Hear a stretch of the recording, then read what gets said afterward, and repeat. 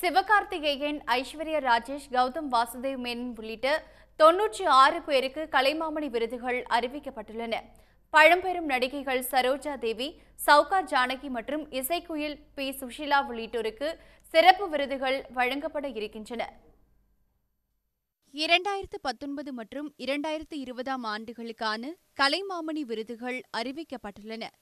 திரைத்துறையைச் சேர்ந்த சிவகார்த்திகேயன் ராமராஜன் யோகி பாபு ஐஸ்வர்யா ராஜேஷ் தேவதர்ஷினி கௌதம் வாசுதேவ் மேனன் ரவி மரியா கலைப்புலி தானு ஐசரி கணேஷ் கவிஞர் காமகோடியன் தினா டி இமான் உள்ளிட்டோர் இந்த விருதுகளுக்கு தேர்வு செய்யப்பட்டுள்ளார்கள். மேலும் Vaigai Selvan Avadikumar Sikkil Gurucharan Tiruchi Kalyanaraman Thamarai Senthur Pandi Vadavur S N R Krishnamurthy என நூற்று முப்பது பேருக்கு கலைமாமணி விருதுகள் சென்னை நடைபெறும் விழாவில் வழங்கப்படுகின்றன.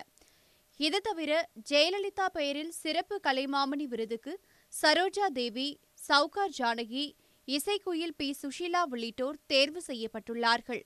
இரண்டாயிரத்து இருபதாம் ஆண்டுக்கான பாரதி விருது சுகிசிவத்துக்கும் எம். எஸ். சுப்புலட்சுமி விருது வாணி ஜெயராமுக்கும் வழங்கப்பட இருக்கிறது.